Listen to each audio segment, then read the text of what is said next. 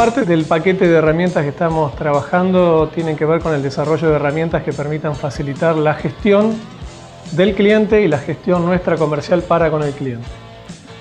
Claramente nuestro objetivo principal es suplir al cliente en tiempo y forma. Para eso tenemos que tener los procesos correctos, el producto correcto, el portafolio correcto, el stock correcto y asegurarnos que podemos comunicar estas propuestas a los clientes de forma efectiva. Así que vamos a trabajar sobre dos pilares principales, desarrollando herramientas para nuestro equipo comercial que permitan comunicar mejor la oferta, que permitan darle valor y darle magnitud a toda la propuesta que tiene Edman diferencial.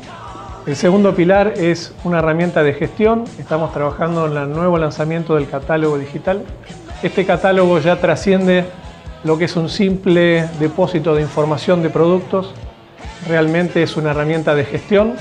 Pasamos de tener un catálogo que contemplaba 50.000 aplicaciones a un catálogo que tiene más de 700.000 aplicaciones en la que prácticamente vamos a estar cubriendo el 100% del negocio de autopartes de la Argentina.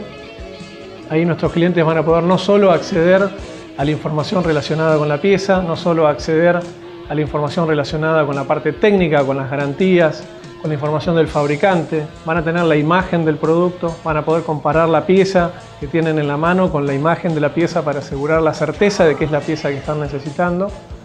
Además van a poder gestionar todo su negocio relacionado con el suplido de Edman, van a poder definir sus precios, sus márgenes, van a poder comunicarse con nosotros al respecto, hacernos llegar preguntas y van a poder ver su cuenta corriente, van a poder ver sus reclamos, van a poder ver su estado de sus pedidos, el estado de la facturación, todo dentro de esta herramienta que ya no es un catálogo de productos, sino que es más bien una herramienta de gestión de nuestra relación comercial entre el cliente y Edman.